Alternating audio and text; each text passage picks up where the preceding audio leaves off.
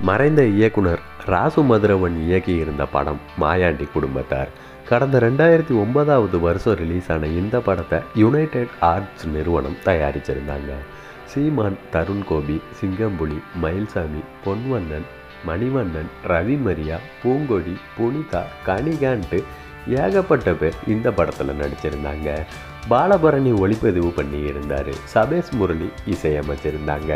அண்ணன் தம்பிகளுக்கு இடையிலான குடும்ப சண்டையையும் பங்காளி பகையையும் ஒரு கட்டத்தில் அன்பால் இணைவது மாதிரியான கதை தான் சிறந்த படத்துக்கான தமிழக அரசோட விருதில் ரெண்டாவது பரிசையும் இந்த படம் வென்று இருந்துச்சு இந்நிலையில் இந்த படத்தோட இரண்டாம் பாகம் கூடிய சீக்கிரமே தயாராக இருப்பதா அறிவிப்பு வெளியாகி இருக்குது முதல் பாகத்தை தயாரித்த யுனைடெட் ஆர்ட்ஸ் நிறுவனம் தான் ரெண்டாவது பாகத்தையும் தயாரிக்க இருக்காங்க.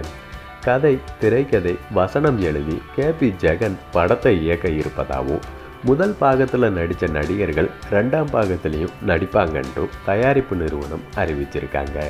முதல் பாகத்தில் நடித்தவங்களில் மணிவண்ணன் இப்போ உயிரோட இல்லை.